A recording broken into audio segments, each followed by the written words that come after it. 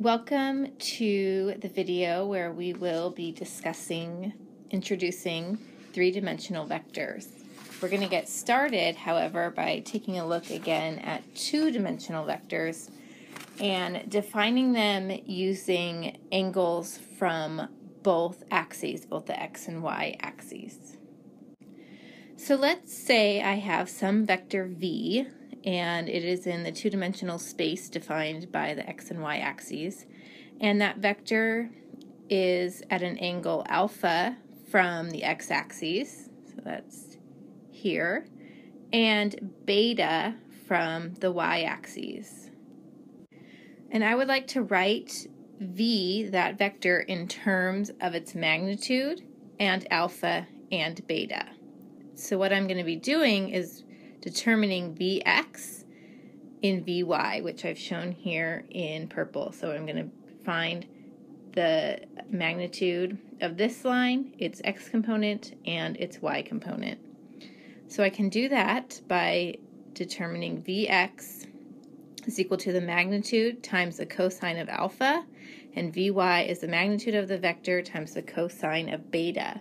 And I can write this in Cartesian vector form by saying that the vector v is equal to the magnitude times cosine alpha times i plus the magnitude times the cosine beta times j. I think you would all agree with me that this two-dimensional vector actually has a third dimension, right? So we live in a three-dimensional world, so we often like to simplify problems by doing them only in two dimensions, but there really is a third dimension. And that third dimension I've just drawn is z, and it's coming straight at you out of the board. So the z direction, we're going to call it positive, coming out of the board. And so the vector v acts 90 degrees from the z-axis going straight in. So our we're going to call that angle gamma, and it's equal to 90 degrees, and so we could find the z component of this vector, but it ends up being 0 because the cosine of 90 is 0. However, if I rotate that vector v away from our two-dimensional space, then the angle is no longer 90 degrees and VZ will not be equal to zero. That should say that gamma is not 90 degrees and our, our vector in the z direction will no longer be equal to zero. So because we live in a three-dimensional world and many of our engineering problems are three-dimensional, we're going to have to solve a lot of problems in three dimensions. So the rest of this video kind of introduces the three-dimensional world and how to get your brain to think in three dimensions. The first thing we need to do whenever we work in three dimensions is set up a coordinate system. All right, so we need to pick an x, y, and a z direction. And there is a correct way to pick your positive coordinate system, and it's by using the right hand rule. So I could draw my positive x, y, and z axes. So let's label those x, y, and z. And how do I know if I've correctly identified the positive x, y, and z direction? I'm going to use my right hand and the fingers from my right hand should align with positive X, Y, and Z directions. So when we do this, the positive X is going to be your thumb, the positive Y will be your index, and the positive Z will be your middle finger. So that could be a little confusing, so I've provided here a couple of different pictures to show this. So here's one example of a hand showing you the positive x, y, and z using the right hand. So again, the x, positive x is the thumb, positive y is the index, and positive z is the middle finger. However, here's two more examples. So you're going to come across different problems from different sources from your textbook. Maybe you see an example online. So don't get caught up in the X, Y, and Z always looking like this particular case. Both of these other two examples that I've provided here are also follow the right hand rule. So in this one, X is again the thumb. So it's going straight up, and then the Y is coming out at you, and and then the Z goes along the middle finger. So this works in both, in all three of these cases, the right hand rule is conserved. So we're going to kind of bring both of those concepts together and work through an example here where we define 3D vectors using angles and the magnitude of the vector. So here is my coordinate system, positives x, y, and z. And I have a vector here, v1, and it has a magnitude of 10 newtons. And I define it using three dimension, three angles from the x, the y, and the z axes. And so gamma, sorry, alpha, the angle from the x-axis, is equal to 70 degrees.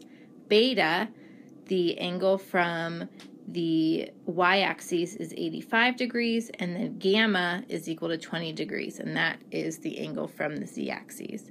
And so we would like to write that vector v in Cartesian vector form. So that's going to have an x, a y, and a z component.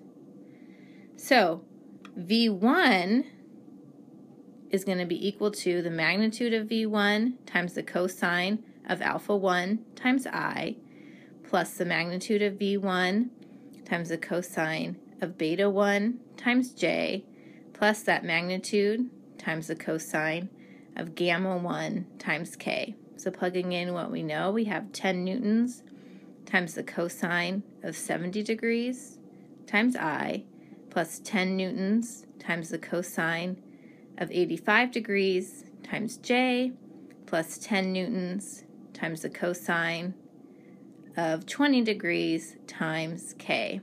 So plugging this into our calculator, we're going to get that V1 is 3.42I plus 0.87J plus 9.40 K newtons.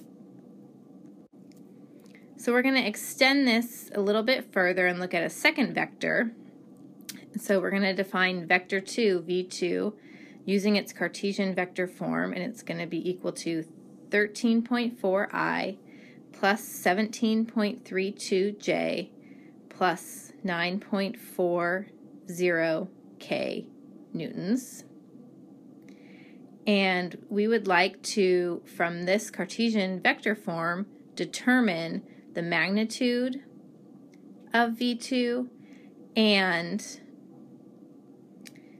the angle it makes from each of the axes. So we're going to determine alpha 2, beta 2, and gamma 2.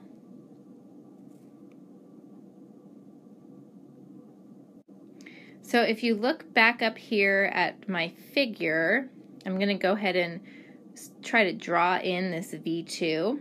In three dimensions, it's a little more difficult to draw the vectors, especially on my iPad. So let's see what we can do. So here would be Vx, V2x, so that should have a magnitude of about, sorry, that's, okay, sorry, let's go back a little bit. Here we go. The first line I draw there, I just drew that X, the line in the X direction here. Okay, see that purple line show up? So that has a magnitude of 13.42. Then I go up in the Y direction, 17.32. So here we go, 17.32. And then I'm going to come out towards myself in the Z direction with a magnitude of 9.40. And so there we have our second vector. Just drew it in purple, v2. So to find the magnitude, this is an extension of geometry. We're going to take the square root of each of the components squared. So it's going to be 13.4 squared plus 17.32 squared plus 9.40 squared. Take the square root of that, and we're going to get 23.8 newtons. And then we're going to find the directions. And so to find the angle that this vector makes with the x-axis, I'm going to take the x component, the i component, and divide it by the magnitude, and that will be equal to the cosine of the angle.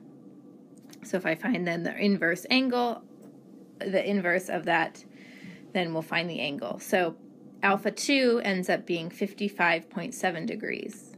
So I'm going to do the same and find cosine beta 2 equal to 17.32 divided by the magnitude 23.8 and I'll get a beta 2 of 43.3 degrees and then the cosine of gamma 2 is equal to 17.32 divided by 23.8 so this gives us an angle of 66.7 degrees.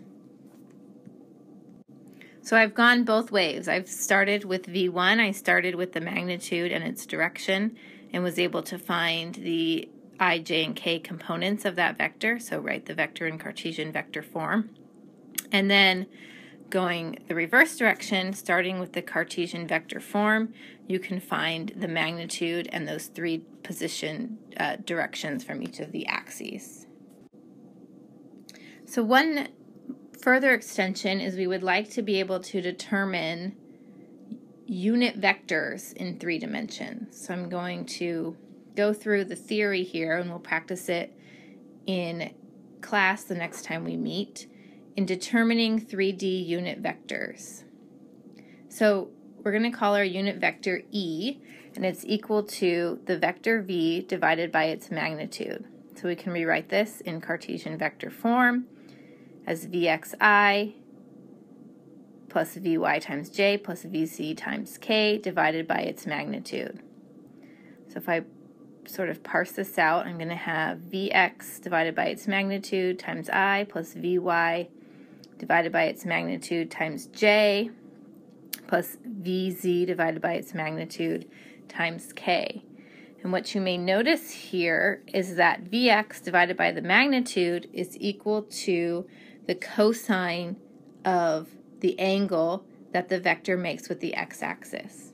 So if I come back real quick over to the left side of the board, I found the angle that it made with the x-axis by taking the x component here, the x component, so that's the i component, divided by its magnitude. Okay, so I do the same thing, moving back over to the right side, when I find the unit vector. So this defines the x portion of the unit vector. And also, if I take away that i, so the um,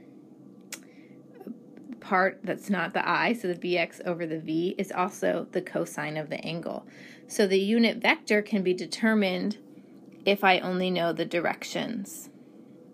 And this should be a little bit intuitive because we know that a unit vector helps us to define the direction. So if we only know the direction, we can find the unit vector. So we know that the unit vector has a magnitude of 1, and so you can actually deduce this very helpful uh, relation that the cosine squared of alpha plus the cosine squared of beta plus the cosine squared of gamma is equal to 1. So it looks like I made a mistake here, and this first one right here should be alpha, not gamma. And then I'm just going to write up here one more time a reminder for you about unit vectors that are going to it's going to be very handy as we move into three dimensions. So remember a unit vector defines the direction for all vectors that act in that same direction. Okay? So a unit vector defines the direction for all vectors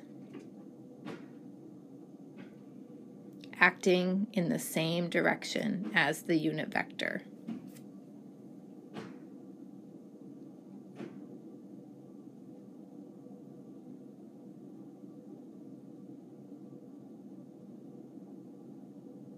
That's going to come in really useful as we move into three dimensions. All right, so the next time that you meet in class, we will be working with three-dimensional vectors and trying them out um, and trying to visualize them and working with position vectors and force vectors in three dimensions. So we'll see you in class.